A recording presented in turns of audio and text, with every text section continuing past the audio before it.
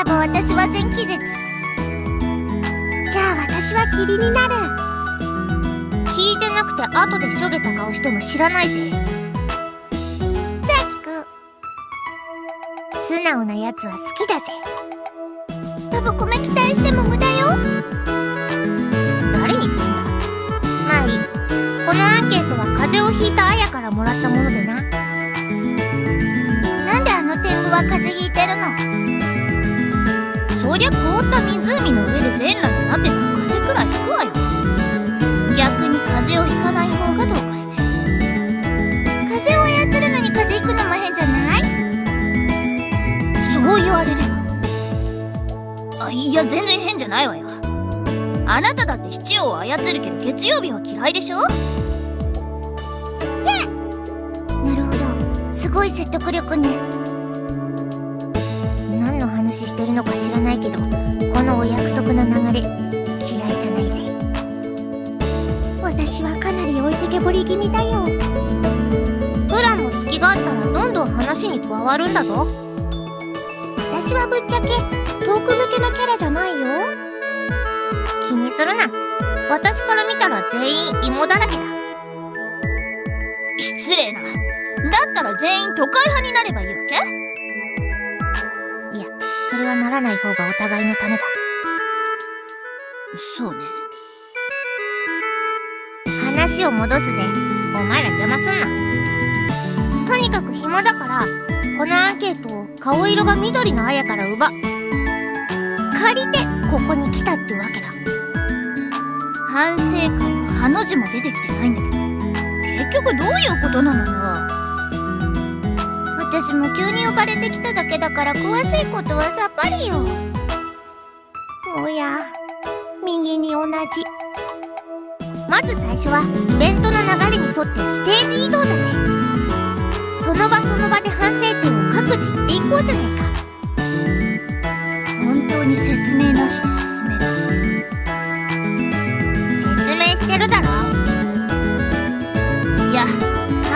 をすることに至った説明よ思いつきだよ。なぜ怒る？お前ら暇なんだろ？ごちゃごちゃ言ってないで付き合えよ。ツンデレなのかしら？ねえレムツンデレって何？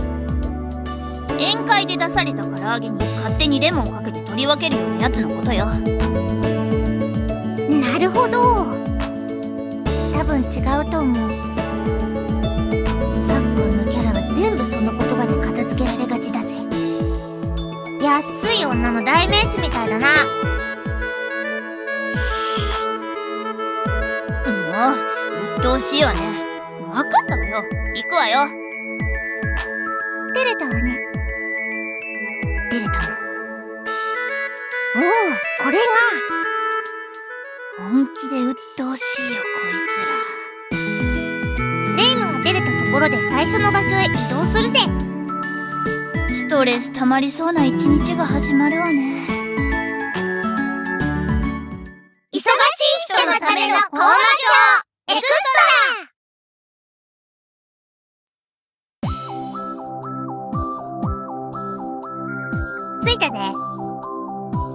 移動してないいいえよく見なさい。3センチくらい移動したわ。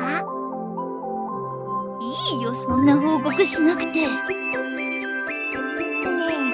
あの小汚い箱は何？あれはこの世のありとあらゆる薬剤が入ってるんだ。そこに希望すらないぜ。言えてみようね。言えてないよ。この場所を抜きにこのゲームは語れないぜ。確かに。あの恥知らずの天狗が来なければ厄介ごとに巻き込まれなくて済んだのに。そのための例のアリスのバッドエンドだぜ。そういえばそこで出てきたテレビのニュースキャスターのシルエットって。説明すると長くて複雑な話になるから気にするな。この白霊始まりと終わりが集う場所よ。真面目な部分はパチュリー大先生に任せるぜ。パチェは先生か。女教師のくせに全く色気のないずんぐりむっくりだってことはみんな把握してるからな。そのことをわざわざ言わないでいいぞ。パチュリーが傷つくからな。わかった。いつか刺されるわよ。よしうちは続けるわよ。動じてないのかよ。異変を解決する巫女のいる神社がなぜ異変の始まりとなりうるのか。単に変な奴らが集まって勝手に面倒なことを始め出すのが悪い。嫌だったらやめればいいの。じゃあ今度神社に来た奴らが不審な動きしたら一人ずつ殺すことにするわ。アリスに神社で悪巧みするといいことがあるって言っておくぜ。今の時点でマリサの息の根を止めた方がいい気がしてきたわ。レイムも知らず知らずのうちに厄介な異変の手助けしてるんだぜ。え？よれば例の新聞に意見したことから話が始まったみたいだから。ゲームのパッケージ裏の煽り文句にも書いてあるけどそんな大層なことを言ったつもりないわよ。雪崩だって最初は小さな小石や振動で発生するんだぜ。運が悪かったと思って諦めるんだぜ。お前らに何か相談されても二度と答えないことにするわどうせお金で釣られちゃうでしょ？ピンすればドンスよ微妙に使い方違う気もするぜ。とりあえず神社の検証を進めましょう。見ての通り小綺麗で小汚い神社だな。毎日レイムが突っ立ってぼーっとしてる物件だ。外にいても基本的には私とやってること一緒だね。来ればがっかり拝めばボロボロ佇む姿はゴミ屋敷。ね。前までは来てもお茶すら出なくなってたけど最近は多少潤って経済的に余裕が出たみたいだぜ。その理由は次回作で。おそういう宣伝がてらの思わせぶりなセリフ。嫌いじゃないぜ。ラブコメしてみる？それは超嫌だ。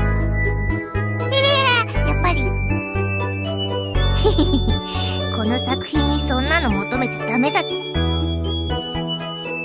人の神社をクソみそに言っておきながら和んでるんじゃないわよ。悪い悪いお詫びにキノコやるから。そうそう。ボロ以外にいじるべきところはないがとりあえず暇になったら神社に行け。二度と来んだ。二度と。あの小汚い箱に書いてある文字滑ってるね。もうお前たち殺す忙しい人のためのコーナーエクス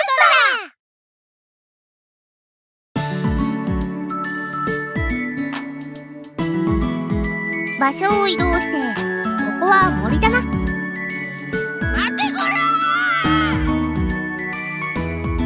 かレンモがひどい顔をしてこっちに走ってくるわ。何怒ってるんだろうなこら逃げるんじゃないわよ。今からお前たちを殺すんだから。何気に今まで人生で聞いた言葉で一番怖いセリフだぜ。頭を悪くしないでレンモ。気を悪くでしょ怒らないで周りを見てみなさいレン周りって森じゃないなんか落ち着いた気分になってこない私はそん。な単純な人間じゃないわよレムレムあそこに食用キノコが生えてるぜ。何？いただきを自然は大切にするべきだろ美味しいわ。舌がピリピリするしよかったね。ここは見ての通り森の中ね。何も思いつかないね。寝て押し込むことのできないくらい普通の森ね。背景に面白さなんていらないでしょ。はいはい。わかったわかった。めっちゃ気分悪いわね。の森は私の庭みたいなもんだ。日差しは微妙に入ってくるが基本的にジメジメしてるぜ。くっさいねここ。雨が降ると地面のぬかるみと湿気の相乗効果で最低だ。ぬるぬるだよ。だがその環境のおかげで魔法の素材に使えそうな植物。主にキノコが育つ。うわパチェみたいな色のキノコが生えてる。大自然万歳マリサあなたまだそんなものを触媒にして魔法使ってるの？いいんだよ。本に書いてあることを実践するより自分で試行錯誤した方が感動もひとしおなんだぜ。まあゲームの舞台としてはそんなに目立った場所ではなかったなしかしここはたくさんのルーミアの魂が眠る場所なのよ。あんな温厚な妖怪をゴミみたいに扱ってお前たち絶対に許さない。お前もいろいろやってた気がするけど。私は直接手を下してないわよ。一番たちの悪い悪人ね。リーム悪人だったんだいい人面してるやつが一番厄介だからな。気をつけろよ。うこの場所の総用は？地味な場所だからってボスに無茶するな。じゃあまた場所を移動するぜ。待てこら！一発殴らせろ！忙しい人のためのコーナーエクストラ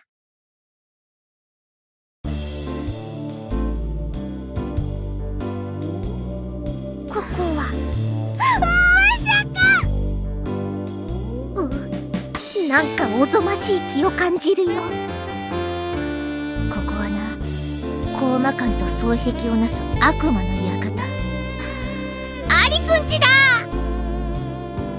なんかうなり声が聞こえてきたよ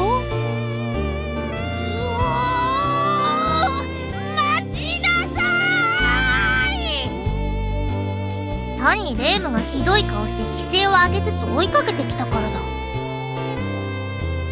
あんたたち人をバカにするのもいい加減にしなさい。落ち着けレイムところでこの家を見てどう思う？すごく大きいわね。あの変人の家じゃない？そうなんだ。無駄に大きいんだ。なんだこの優遇っぷりは。の家は絵どころか話にすら出てこないぞ。家がないからしょっちゅう私のところに来てたのか。図書館に来てたのも実は屋根があるところに来たかっただけなのね。マリサかわいそう。これからはいつでも来てもいいわよ。温かく迎えてあげるわこれからも仲良くしようね。そんな同情余計なお世話だよ。家はあるよ。ちゃんと森の中に立派な一軒家ないない。地面がぬかるんでるから家も倒壊したのよね。段ボールならいっぱいあげるよ。家あるからお前らしつこいぞまあマリサの言う通り立派な玄関と家ね。あの人形使いの優遇されっぷりは異常。好きじゃないけどキャラ的に美味しいから使われたんだろうな。好きじゃないけど好きじゃないけど。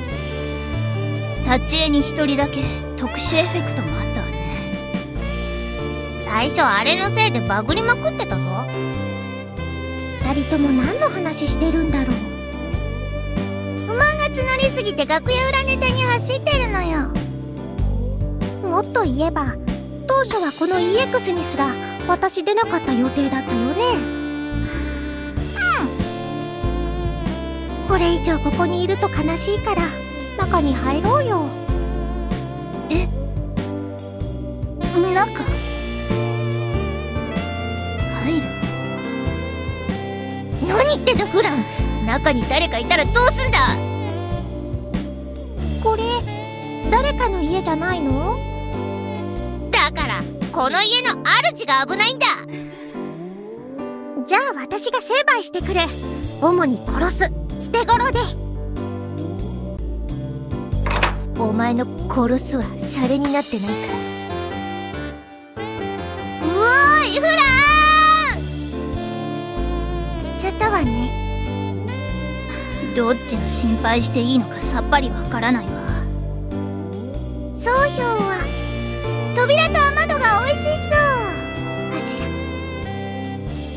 急に雑になるんじゃないわよみんなやったよ中にいるやつをやったよ倒しても復活場所っていう忌まわしい設定があるんじゃなかったか設定言うな幻想郷のルールなんだから文句言わないのそんなルール今まで見ことも聞いたこともなかったぜ。大丈夫。一時的にだけど永遠に殺しておいたよ。何それ。怖い。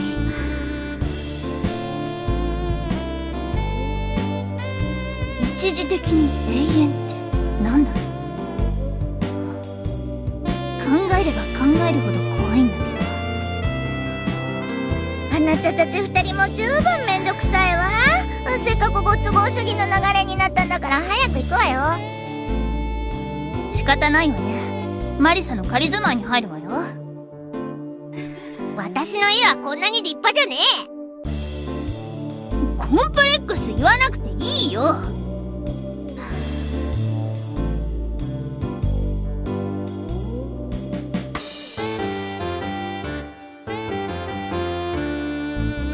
学長そうだなそうかな。普通という言葉の定義が一瞬わからなくなったわ。ねえこのテーブルの上にあるの何？あれはアリスの顎置きだ。嘘を教えるな。あとこれはテーブルじゃなくてちゃぶ台よ。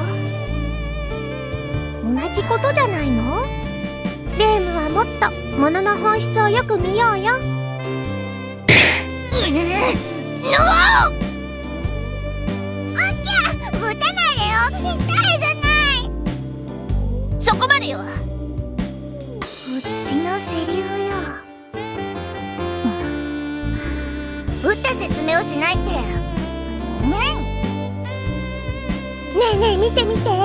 マリサの写真が飾ってあるよなんだかんだで可愛いところあるわねアリスは。これいつ撮られたんだ？え盗撮？その割には目線お願いします。で撮ったみたいなカメラ目線ねあやも真っ青なすごい撮影技術ね。うわなんか写真がすごいベートベート。すごいぬめてる。レームの脇みたい。ぬめってないよ。そんなに。自分が写ってる写真があんな風にされるってどうなの？まあアリスのやることだし。少しは気にしろよ。しょうがないだろ。アリスそっか。で結局テーブルの上にあるのは何？ラジカセね。自分の声を録音できたりどこからともなく漂っている電波をキャッチすることができるのよ。おおじゃあ私も録音したい。中にカセットは入ってるわね。中身が何か知らないけど上書きせ姉は血を吐く。妹は火吐く。いやいや何を録音しようとしてるのよ。一人の時によく聞いた J-POP ポップじゃないからそれ。せっかく私の初カラオケだったのに。カラオケでもないから。わざわざ歌を歌うってだけでお金を使うなんて馬鹿げてるにも程があるわよ。あなたはツッコミ入れてる場所がおかしいから。後で使うかもしれないからパクっとくかこのラジカセ。マリサは問題外ね。一人でブツブツ言ってるパチュリーはほっといて部屋の検証を再開するか。基本的には可愛い部屋だね。まあ基本的にはだけどな。ところどころに狂気が混じってるから気をつけるわそんな気軽に狂気が転がってるわけないわよ。じゃあ試しに引き出しの中とか見ればいいんじゃないか？そんな大したものが？入ってるわけパチュリーはベッドの下を覗いてみ？もうめんどくさいわね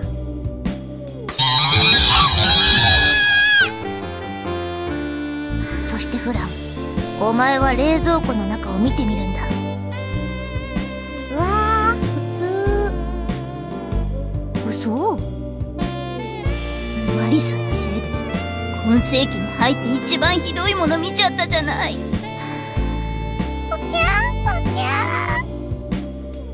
とっとと出た方がいいな。この場所の総評は日常の中に潜む狂気の館だな。とりあえず人の家に勝手に入って物を取るのはいけないと思う。ーあたいの賛成なのらほら行こうぜ。うんわかった。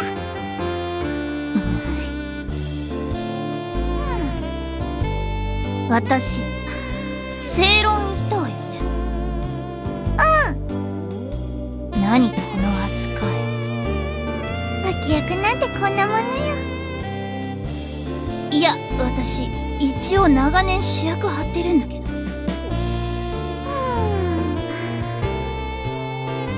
お前もシカトかい。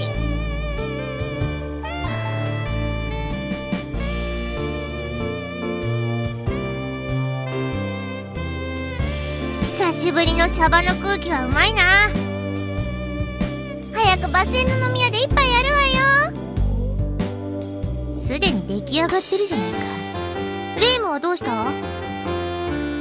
中でブツブツ言ってたから無視して出てきちゃったわ。寂しいねレイム。ああ見えて。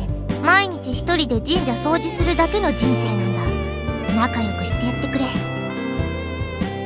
何を勝手に寂しい女に仕立て上げてるのよ。これからも友達でいてやるぜ。仕方ないわね。友達になってあげるわ。よかったねレイム。完全に余計なお世話だよ。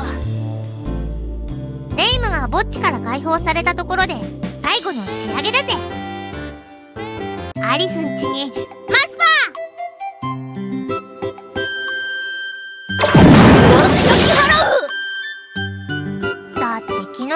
発生させないとここの反省会できないだろ？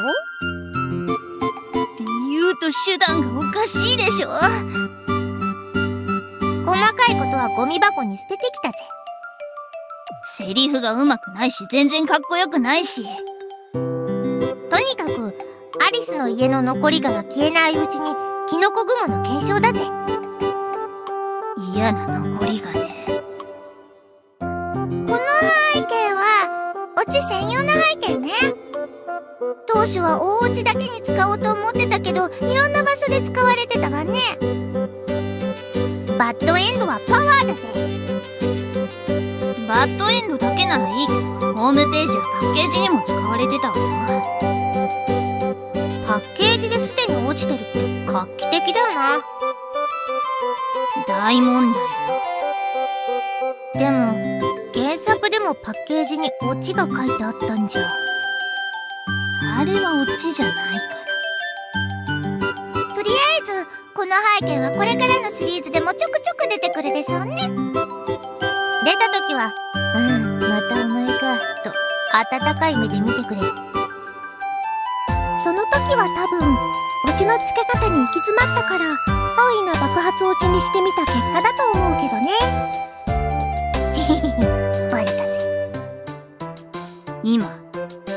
てならないセリフがあったんだけど。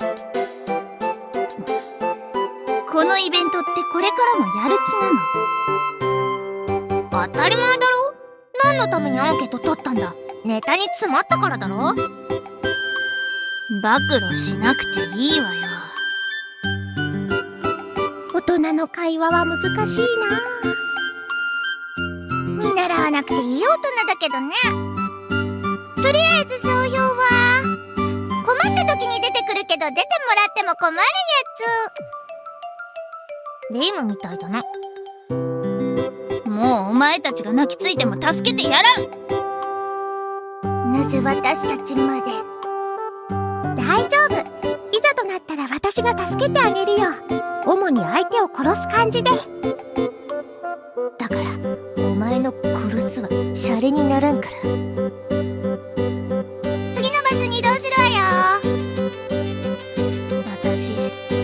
次のステージ嫌いなんだけど。大丈夫。きっとフランが温めてくれるぞ。あったまったらあったまったでまた別の問題が発生しそうだけど。仕方ないわね。忙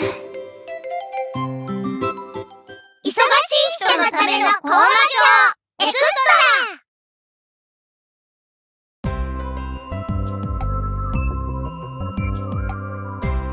やっぱりめっちゃ寒いわ。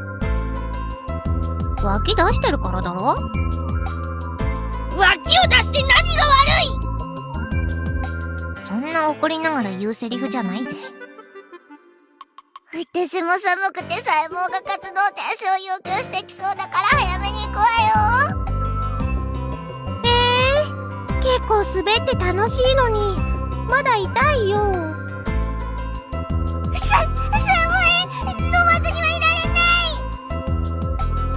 今更だけどその状態使いどころに困る絵だよな。言わなくていいから。いやそういう細かいところにメスを入れてこその反省会だ。ただのハゲ足取りの荒探しだよね。うん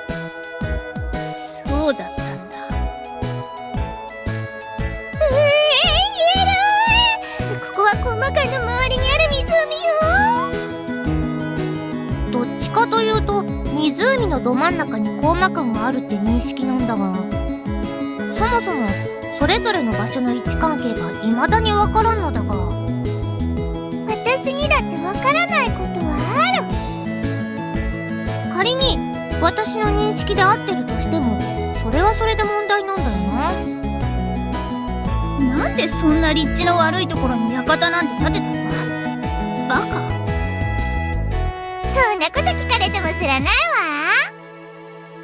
わわからないことだらけじゃない。この七葉魔女の目をもってしても読めなかった。とっととこの湖のこと言いなさいよ。寒いんだから。そっちが邪魔してきたじゃない。いい加減にしないとスペルカード発動させるわよ。スペルカードね。マスパか無双封印くらいしか出てこないけどな特に理由もなくアメンボ赤いなアグニ社員はボツになってたし。パチュリー一世一代の大博打セリフだったのにな。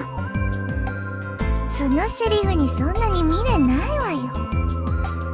いいから湖の説明させなさい。わかったよ。じゃあ説明してくれ。えーと特にないかな。ねえ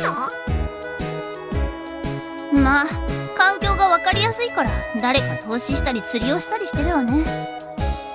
ここに出てくるボスのチルノがいじりやすいキャラだからなぜか場所の印象も強いわね。パチュリーの仕事取るなよ。あいつ泣いてるぞ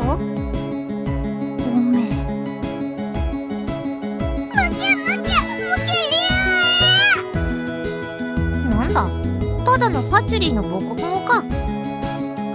謝って損した？まあなんで常に凍ってるんだ。とか霧が出てるんじゃないのか。とかは気にしないことね。気にしたらフランがお前の預金通帳を燃やしに行くぜ。気にしないことにするわ。そんな面倒なことしないで銀行ごとぶっ壊しちゃえばいいのに。それは全員一致の意見でやめてもらいたい。でも預金が潤ってる奴らなんて全員死ねばいいのに。いきなり危ない発言するなよ。私は秘密の場所に金の延べ棒を隠してるから大丈夫よ。バチュリー先生今後ともよろしく。良きに計らえ金絡みの友情はプレパラートより壊れやすいぜ。嘘でも熱い友情なら上等よ。意味わからん。いいからとっとと終わらせてよ。寒くて私のコア温度が活動限界なのよ。コアコア温度？脇でもこすって発熱すればいいんじゃないのか？んなおかしな能力ないわよ。マリサはなんでそんなに平気な顔してるのよ。私の心に熱い気持ちがある限り寒いと思うことなど何もないぜ。嘘つけ。あこいつはっきりを回路代わりにしてる。貸しなさい。やだ。おのれこしゃくな私の魂を簡単に奪うことができるかなチョコザイな。面倒だから二人で先に進めることにするわ。そうだね。っていうかなんであんな二人が主人公格なの？私に言われても。バチは本当に何にも知らないね。もんにゃんにゃとりあえずとしては一番美味しい。見ている限りでは。で終了。じゃあ先行こうか。そうね。待てー何よ。せっかく終わったんだからスムーズに先に進ませなさー進むってどこに進むつもりだ？そういえばそうね。コーマ感はもうないんだったわね。早く回路をよこしなさい。落ち着けレイム。私と追いかけっこすることで体が温まったんじゃないか？本当だ。ほらスペルカードパワーが脇に溜まってきただろう。マリさ早く先進めて。あすいません。ごめんなさい。その子が相手だとみんな素直ねもちろん私は本来ならこの先はコーマ館なわけだがみんな知っての通り跡形もなく吹っ飛んだ。一体誰がそんなことを。ここでこれを使うぜ。秘密兵器スペカ捏造符パクリちゃん。何その時事ネタな上に分かりにくいやつは。まあそういうな。んこれは今は存在しない場所の絵を捏造できる優れものなんだぜ。マリサそれを使って人の家に入った気分になってぬくもりを感じてるのね。かわいそう。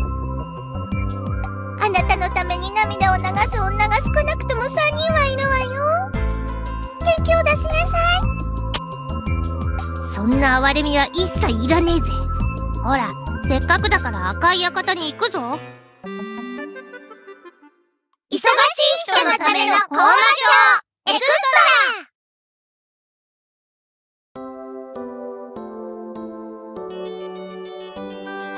ラ。わーいお家だ。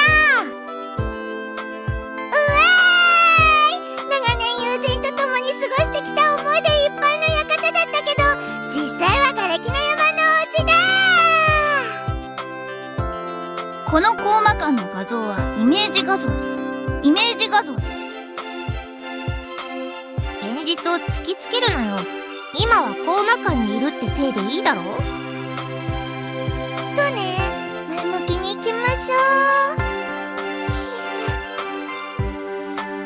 う。おおこれは懐かしの海藻が吹き出てくるポストだ。いやそれはポストじゃなくてマリサが作った偽りの絵よ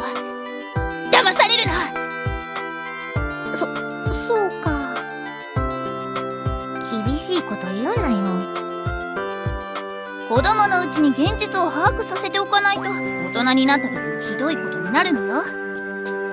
普段はお前の30倍前後は年上だと思うけどな。っていうかこの場所って高魔館のどこら辺なの？どう見ても正門だろ。私窓から飛び出したことしかないからさ。ちゃんと門から出ようぜ確か帰りは腕を顔の前にクロスさせて窓ガラスに突っ込んできてたわね。すげえな。私も真似しようかな。神社の賽銭箱にドキャーン。自分の家でやってよ。賽銭箱に入ってもしょうがないでしょ。そうだな。何も入ってないしな。そういう問題じゃないからは高魔館の正門よ。ここの門番はいろんな意味で有名人ね。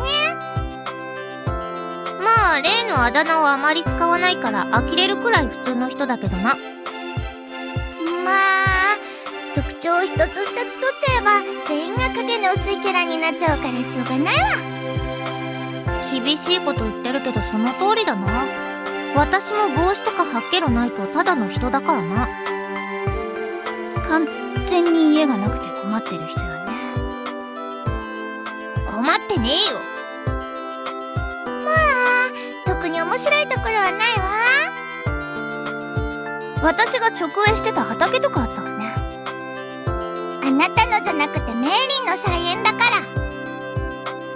何を燃やしてたか知らないが焼却炉とかもあったな黒いゴミ袋がいっぱいあったぜなんか微妙に袋が動いてた気がしたけど何を燃やそうとしてたんだ？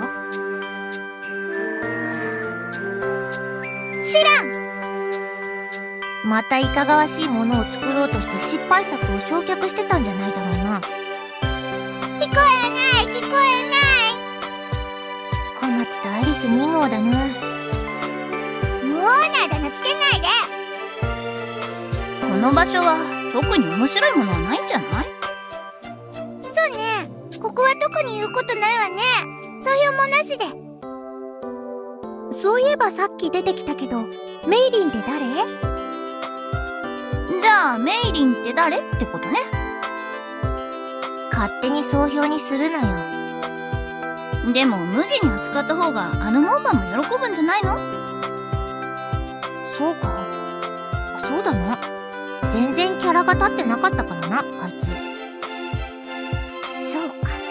普通に扱うのはあの子のためにならないのか。わかった。次回作からはもっとあいつにひどいことする。みんなでよ戦ってひどい目に遭わせてメイリンに輝いてもらうわ。でもそのネタもマンネリ気味だよね。この子の毒舌がいつ自分に向かってくるか正直ドキドキしてる。わ私もだぜ。同じくさっさと次に進みましょうか。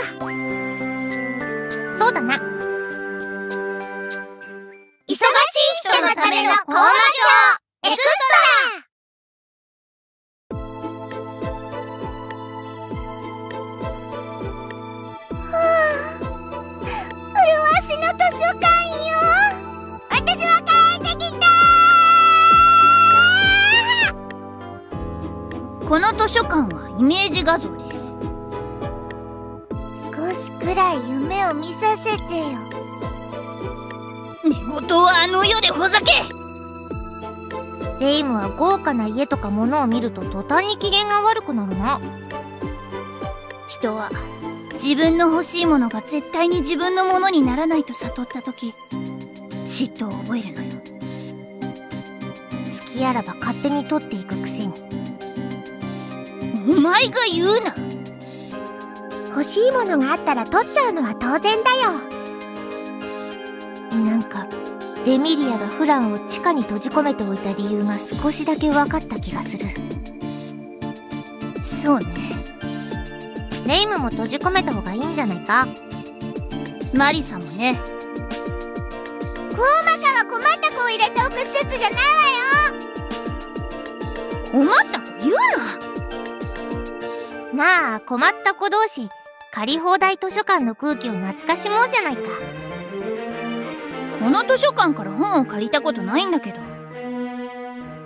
そもそも貸し出しすらしてないわよ。初耳だぜ。そうだ。図書館はなくなったけどマリサのところにいくつか残ってるんじゃないの？いい加減に本を返しなさいよ。いや借りてるだけだぜ。だから返しなさいっての。いいけどアリスに借りパクされた。じゃあいいよ。返さなくて。いいんだ。どうせボロボロのデロデロになってるでしょうし。どうでもいいけどこの図書館湿気がひどいよね。どうだ？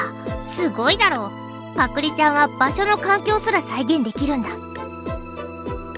それで人のぬくもりを。いい加減打つぞ。冗談が通じないわね。せっかくの古巣に戻った気分なんだからもうちょっとひたらせなさいよ。そうか。じゃあ心置きなく本を手汗でびしょびしょにするといいぜ。そんなことしないわよ。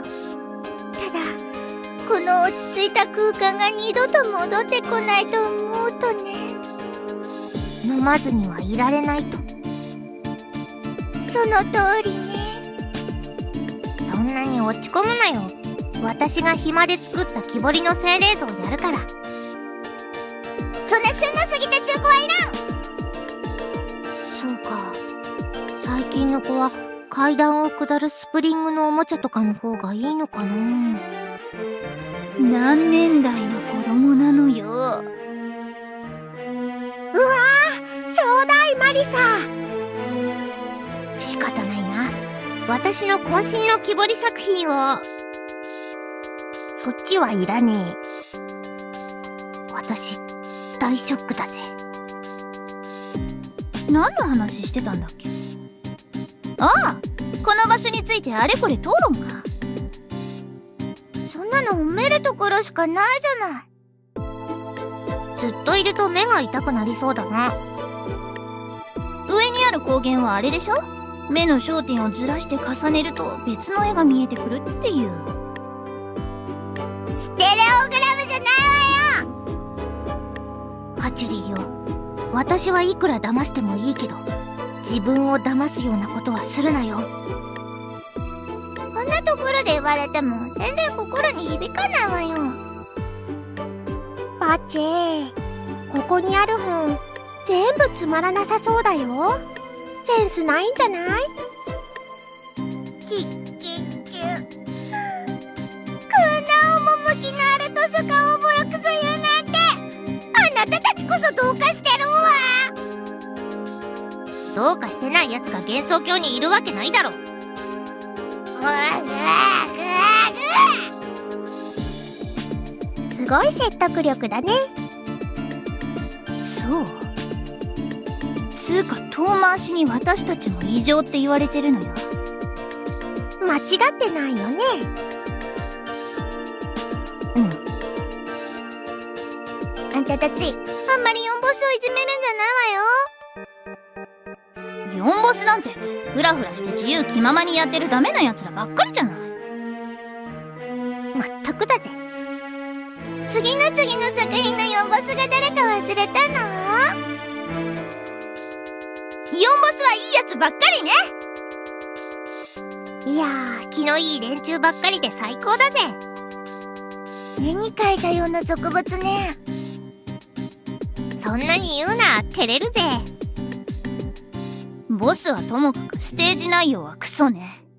まだよか！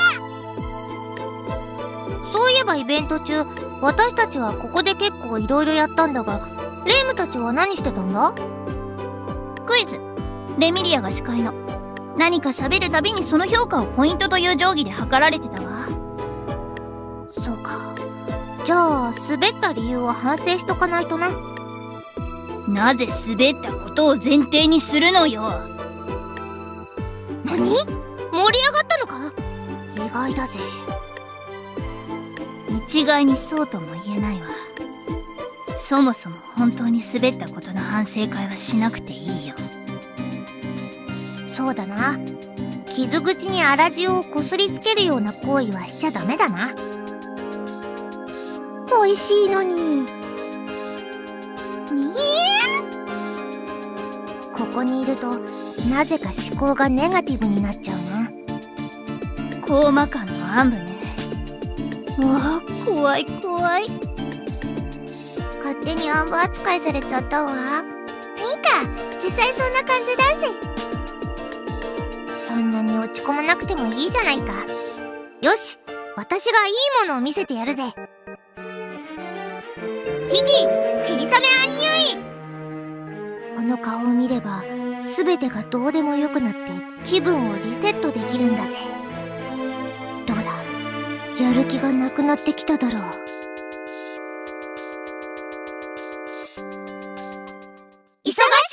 ためのコーナーエクスト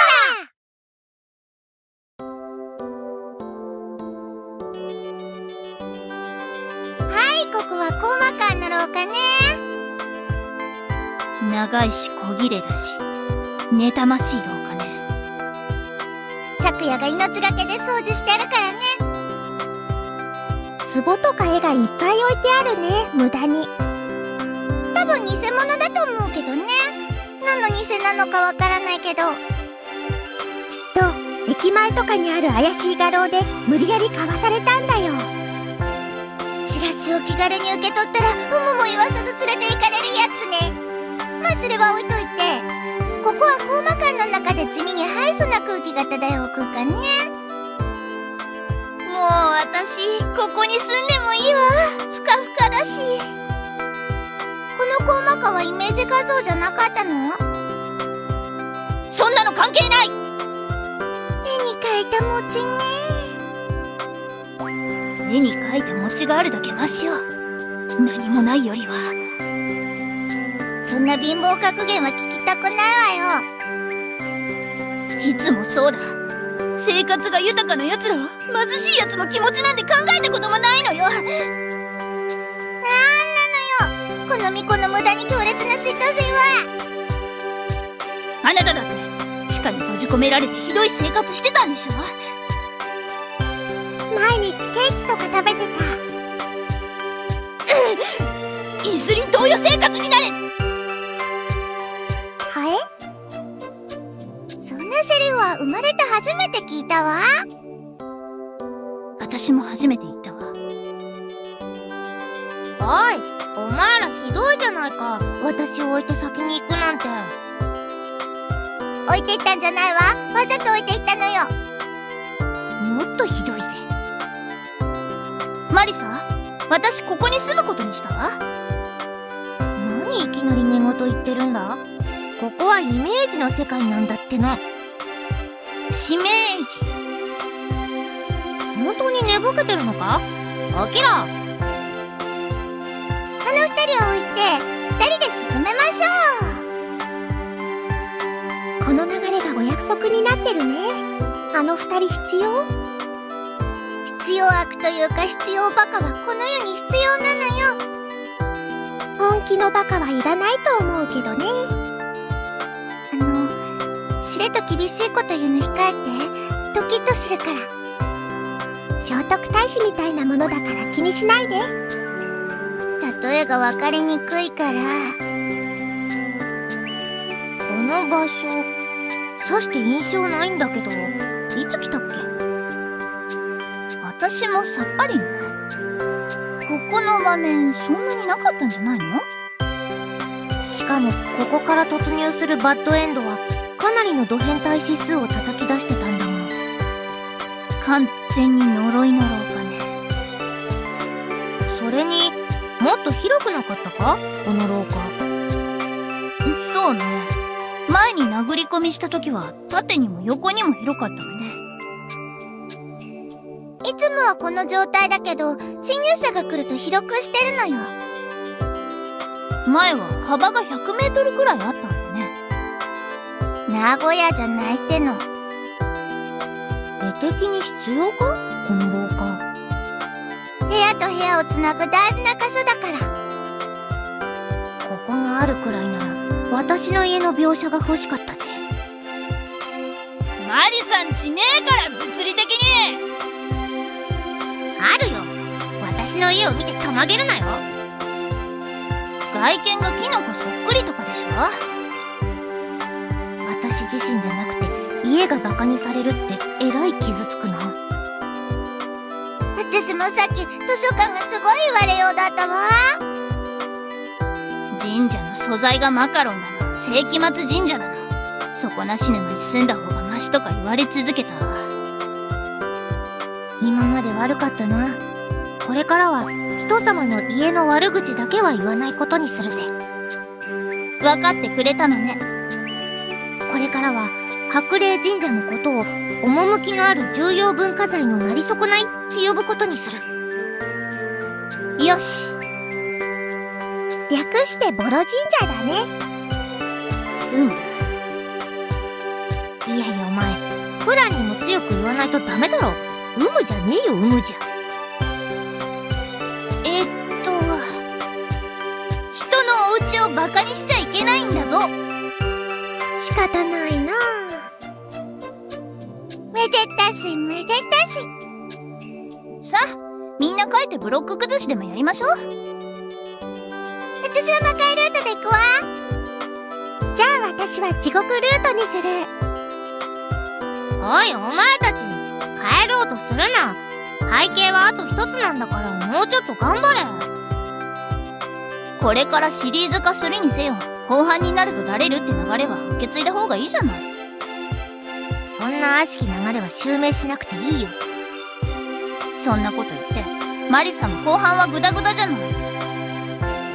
っていうか今はまだ後半にすらなってないぞ。だと後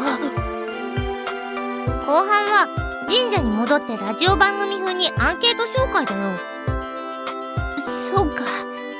私はまだ布団の中にいて。夢じゃないから。ちゃんとしろ。また始まった。この二人は何かあるとすぐ脱線するわね。もう二人は置いていくわ。んいつもの宿題は忘れずにみたいなのは？感じでいいんだ。あの二人が言う通りこの場所あまり出てこなかったし。反省会するって言ってたからもっとちゃんとしてるのかと思ったよ。マリサやレモニーあいや幻想郷の連中に真面目を求めちゃダメなの。肝に銘じておくね。じゃああの二人は放っておいて次の部屋に行きましょう忙しい人のためのコーナー表エクストラうわーすごい居心地よさそうな部屋。客間兼メイドの部屋兼レミーの自室ね。すすぼけた感じが何とも言えないね。いや結構いい雰囲気の部屋だと思うけどレモが見たら「住みてー!」って言いそうよ。ここでお姉様たちは何やってたの？基本的にレミーが「あー」とか「いー」とか「えー」とか「おー」とか言ってみんなを困らせてたのよ。役に立たないね。そこがレミーのチャームポイントなんじゃない。見る人によってはぶっ飛ばしたくなると思うけどね。レミーとはいえブツとかわいそうだからほどほどにねダンベルでお姉様を殴り続けるとどうなるか実験したかったのに。妹としてその発言はどうなの？超余談だけどコーマ館の全体のデザインは旧なんたら手を参考にしたわ。完全に楽屋ネタだね。そういうネタは多用すると嫌われちゃうよもう遅いわよ。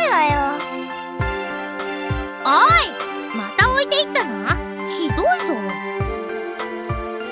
うわーここ住みてあなたたちが毎度毎度で無意味な言い合いを始めるからです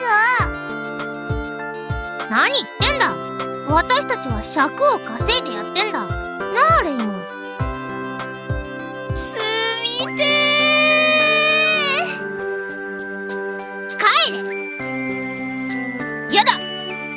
なぜならばここは私の家なのよ。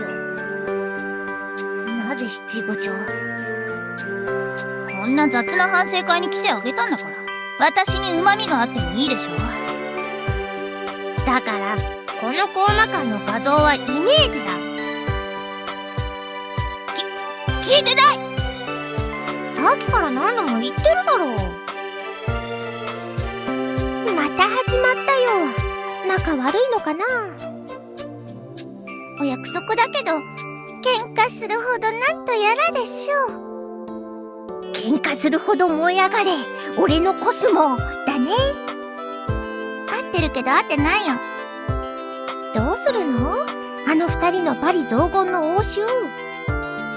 もう移動する場所もないしマリさんの言う通り尺稼ぎのためならあ少しの間好きにやらせてみましょうかこういう時は水飴か。木のタンスに直で入ってる焼きそばが欲しくなるね。そういう知識どこから仕入れてくるの？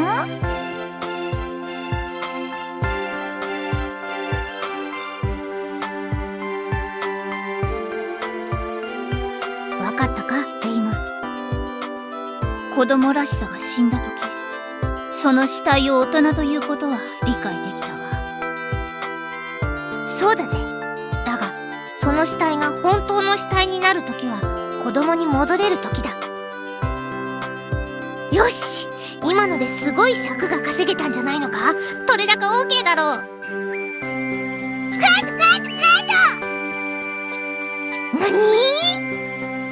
カットしたわ。なんでパチュリーがそんな権限持ってるんだ？進行役か？られたぜ。最初は何のために連れてこられたのかわからなかったけど私がいなかったら終わってたわよ。神の言葉か？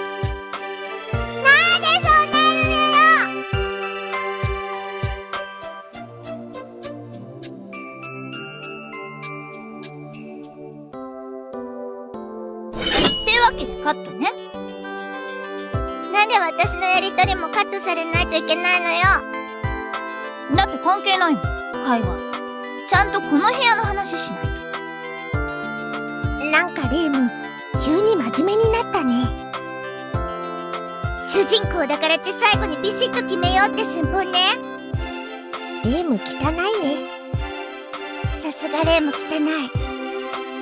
お前らそんなこと言ってるとカットされちゃうぜ。おー怖い怖い別にカットされたからってどうにかなるわけじゃないけどね。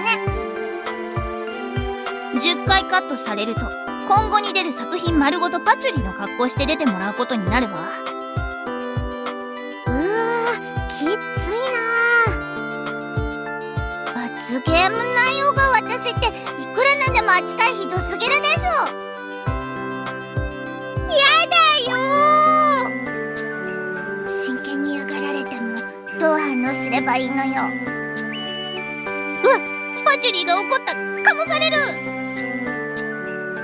金じゃないわよ私は。この紫色は金じゃないわよ。かもして殺される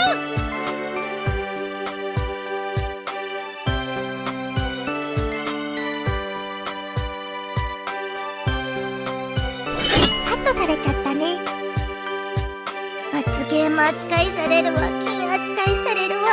して損したわ。気にするな。早く進めましょうよ。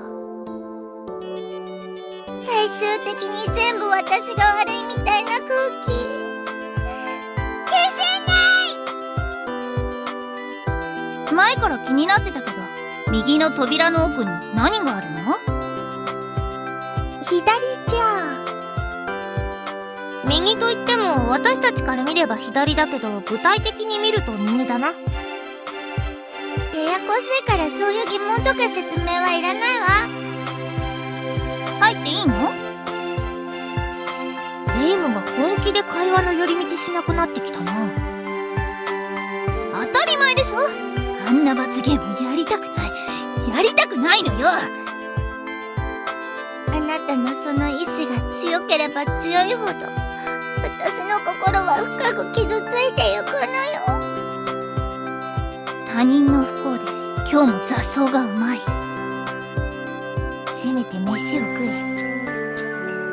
ともかくこのドア入るわよ。どうぞ。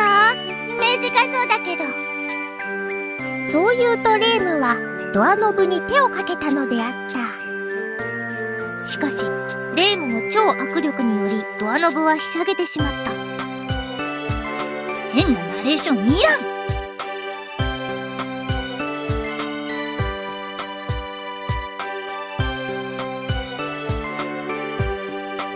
あれこれカットされたんじゃないわよね。右も左も隣も正面もみんなデザイン同じ部屋なの。私もイベント中に部屋を見て回ったけど全く同じ部屋だったぜ。一部屋くらい私にくれればいいのに。部屋をあげるってどういう状況よ。マリさんも勝手に館の部屋を見て回るんじゃないわよ。いや借りただけ借りただけ。同じデザインと言っても結局あれでしょ？エコよエコ。ただの使い回しじゃないの妹様ですらその言葉を言うのは抑えたのに人聞きの悪いことを言わないでよ。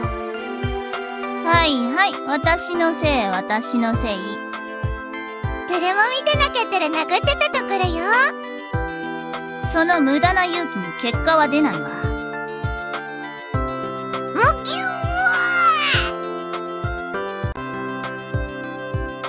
ー。総評出番の多かった場面は言うことも多かったが別にこれといって重要なこともなかった。だぜ。以上をもって場面ごとの反省会は終了だ。では場所を移動するぜ。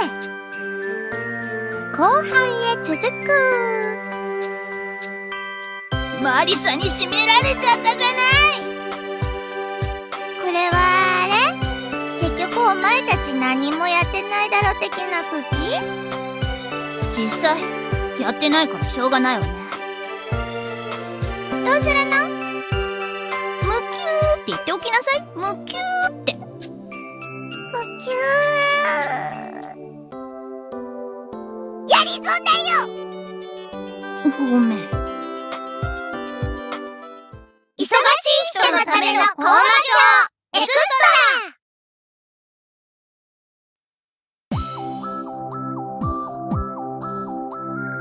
相変わらずコーマ館からここに戻るのは異様に早いわね。帰り道なんて本気でやることないからね。みんなお葬式みたいな顔で飛んでたね。パチュリンなんてタバコをスパスパ吸いながら飛んでたわね。吸ってないわよ。イメージ悪くなるようなこと言うんじゃない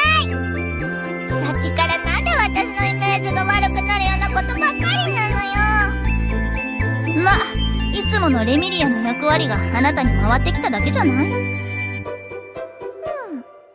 るほおいスモーカーども本番を始めるぜ。どだから吸ってない。本番ってどういうことや？今まではお遊び。ここからが本番。むしろ今までのは全くいらねえくらいだぜだったら無駄に長々とやらせるんじゃないわよ。前振り前振り。んでだ。朝に言った通り先日のイベントに関してアンケートを募ったのは覚えてるな。あやがでしょ。そのアンケートをマリサがパクったって。盗んでないぜ。どうせまた借りたとか言い張るんでしょ。レンタルレンタル可愛くないわね。とにかくこれがメインだ。ごちゃごちゃ言うな。ごちゃごちゃ。うだうだ。マスパしたいところだけど我慢してやるぜ。つうかこういうのってワクワクしないか？生の声を聞けるんだぞ。いや、全然。っていうか、昼寝していい？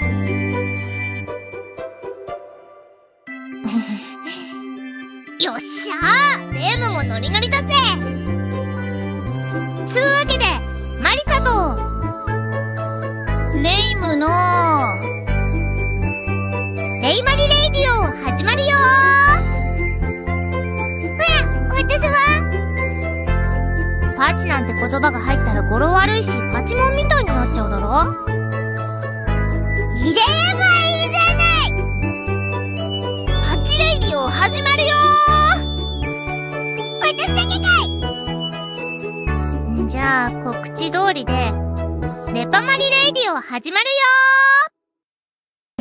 私は？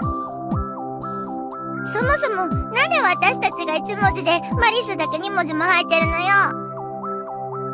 よ面倒だなそんなのどうでもいいだろいや、そういうところはちゃんとしないと。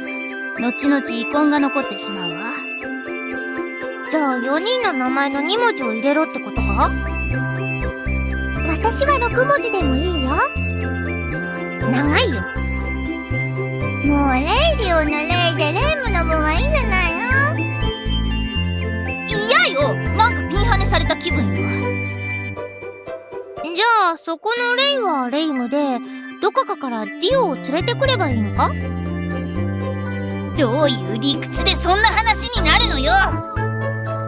それだったら全員の名前を入れてもすっきりするだろレイディオの部分がなくなったら何が何やらわからないじゃない。元はといえばレイムがレイムだから悪い。私を全否定される筋合いはないわよ。レイフラマリ対パチュリーレイディオとかは？戦っちゃったよ。腕が鳴るわね。ほらワクワクしてきたぞ。見ている分にはもう私も変な意地張らないわよ。レイマリレイディオでいいわ。じゃあその後に逆襲のパチュリーってつけてもいいぞ。いらないわよ。パチェかっこいい。そんな尊敬の眼差しで見られても。あんたたち真面目に進行するつもりあるの？じゃあ仕切り直して。レパマリレイディオ始まるよ私は？無限ループって怖いわよね。このコーナーはなあやから奪い取ったアンケートに雑に答えているコーナーだぜ。スタジオは白霊神社の前。参列者が見たら引いちゃう場所でお送りしてるわ今日は素敵なパチ。いやゲストを呼んでるぜ。ワクワクするだろうレイム。いや。ゲストはこの人だ。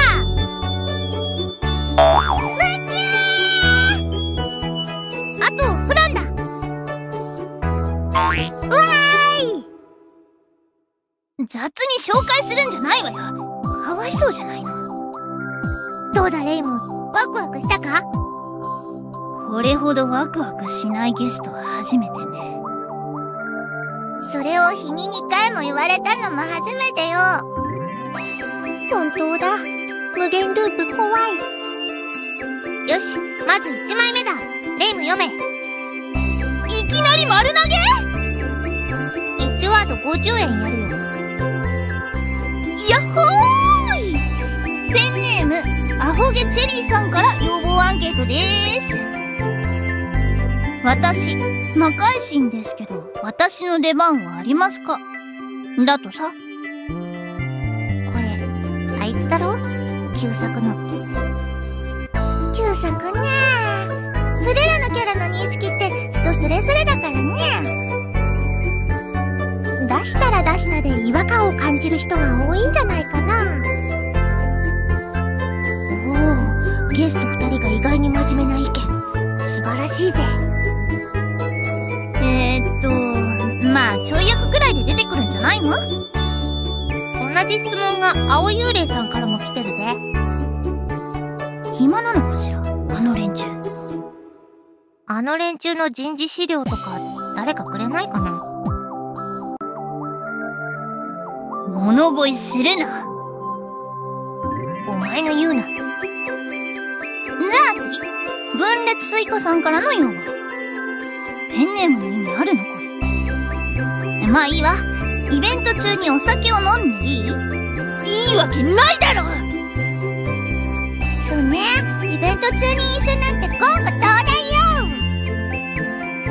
そうだよ真面目にやらないと死刑だよそうだな。イベント中に飲酒はダメだな。まったくね次。巨大化スイカさん。さっきのやつと同じだろスイカ出るよねさあ、わかんない。えー、嘘そこは出そうよ。萃夢想は話がいまいちわからないから。結局あれはどういう話だったの？宴会をやればやるほど怪しい容器の霧が集まってたとかじゃなかったっけ？あのイカレ天神も切り出したわよね。なんでどいつもこいつも霧を出すのかしら。私も霧になれるよ緊急回避ボタンを押すと便利だなまあ、霧にも色々あるんだよ。その霧が様々な異変を起こしてみんなを楽しませてくれるんだ。迷惑極まりない霧ね。今度から霧を出したら問答無用で無双封印だわ。そんなことしても霧がねえぜ。なんて。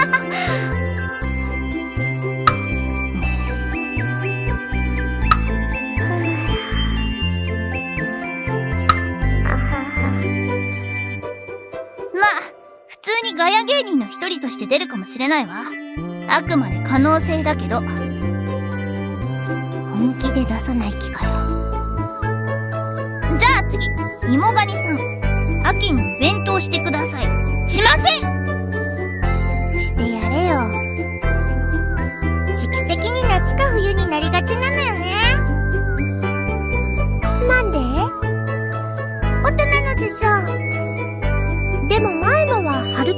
なかったっけ？それも大人の事情気分と都合によります。ゆっくりやります。ゆっくりが一番だぜ。次、ポシュンさん。ペンネームは他の連中よりひねってあるけど、誰かバレバレだから。えー、っと、三月生で一本ドラマください。作りませんさっきからバッサリ行くわねさすがにひどいだろう。もうちょっと議論してやろうぜ。いくらアンソロジーのキャラだからって。いやいや、そっちの言い方の方がひどいよ。アンソロキャラじゃないわよ公式キャラだったの？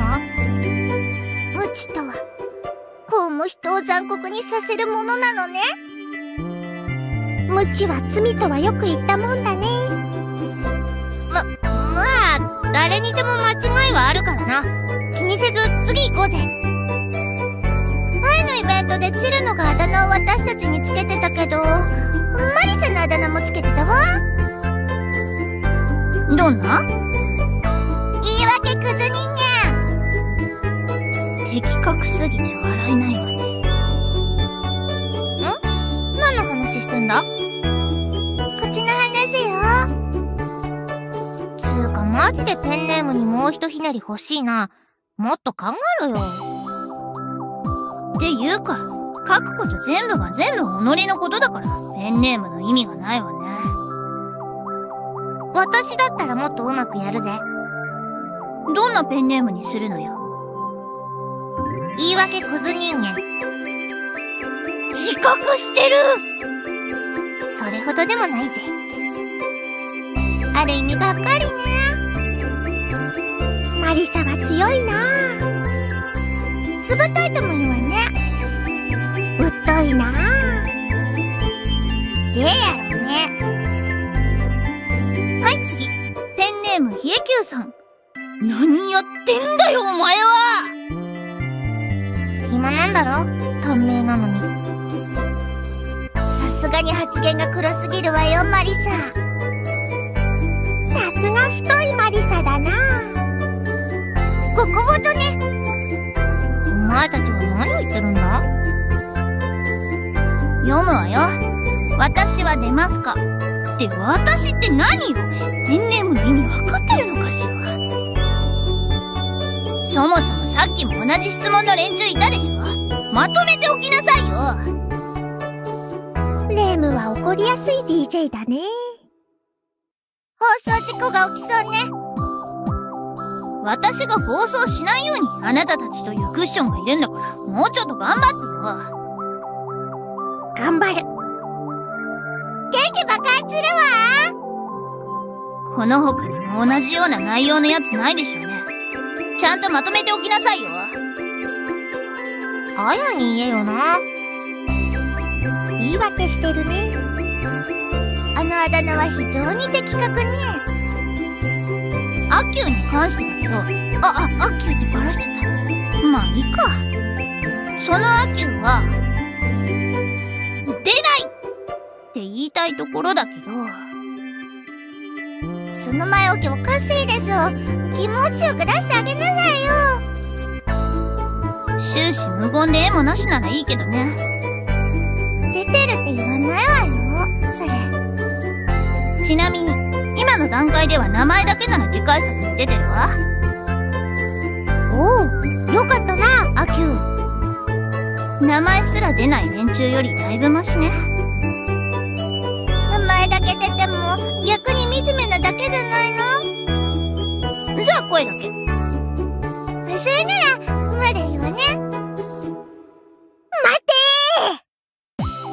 何よ？声だけ出されたキャラの気持ちがみんなにはわかるのか？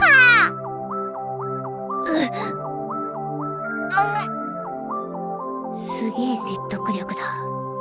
まあ次は、それなりに出番多いから、物騒なものはしまいなさい。たまに思い出したようにボソボソっと喋るようなキャラじゃないよね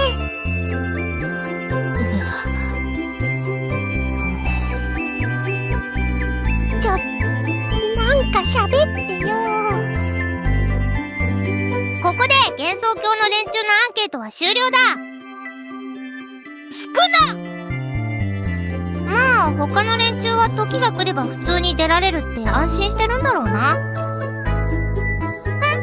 すぐ出られない連中もいるの？しかも一回出れたと思ってる連中も油断したら。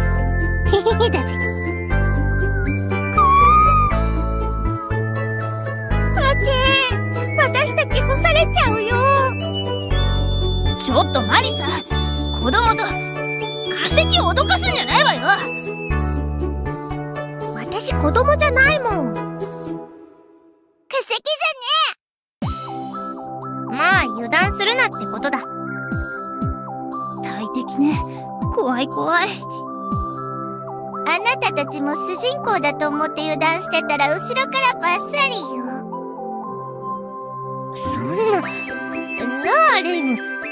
私たちもなあ。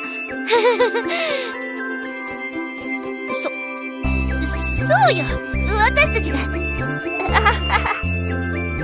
ま、まあ、気分変えて次行こうぜ。え？まだ何かあるの？今からが本番。むしろ今までのは全くいらねえぜ。またかい